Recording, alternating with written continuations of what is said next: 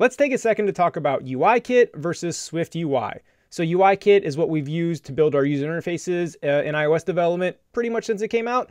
And Swift UI seems to be this new uh, direction that Apple's going for all of its future development. Now, we first even heard about Swift UI in the summer of 2019, and it finally just came out of beta in fall of 2019, but it is still extremely early in its development. So you, as somebody just starting out in iOS development, you're probably asking, what should I learn? Should I focus on UIKit or should I focus on Swift UI, right? Because if Swift UI is going to be the future, like I want to focus on where Apple's going, not where it's been. And that makes sense. I get what you're saying, but let's talk about that for a second.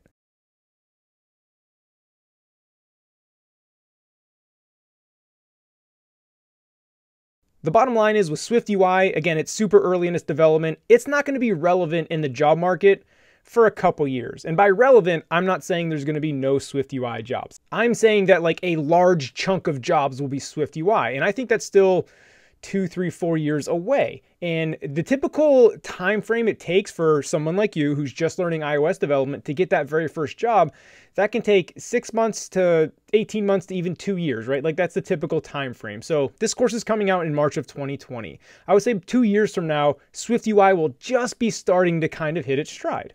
But let's think about this for a second. The App Store has been out for 10 years.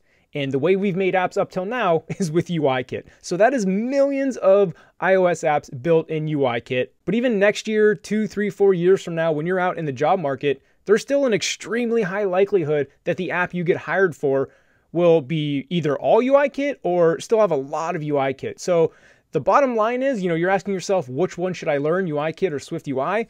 You're going to have to know both. So in this course, uh, we focus on UIKit for the most part, but I do have two videos towards the end of the course where I talk about, you know, what Swift UI even is, the, the paradigm shift, how it's different from UIKit, some of the benefits you get from Swift UI, and then we're going to build a pretty basic screen in Swift UI so you can get like a taste of, of how it works. But again, the entire goal of this course is to expose you to this world, give you that foundation of knowledge, so when you want to take your knowledge even further down one of these paths, you're doing it from a good foundation. So to sum that up real quick, you're going to have to learn both because we're way too early in Swift UI's development for it to be relevant in the job market. And like I said, most of you watching this are going to be in the job market within a year. Swift UI won't quite be ready. And even so, millions of apps are already in UIKit. So you're going to have to know that. It's going to be hard to avoid. So unfortunately, the answer is you got to learn both. And we're going to expose you to that in this course.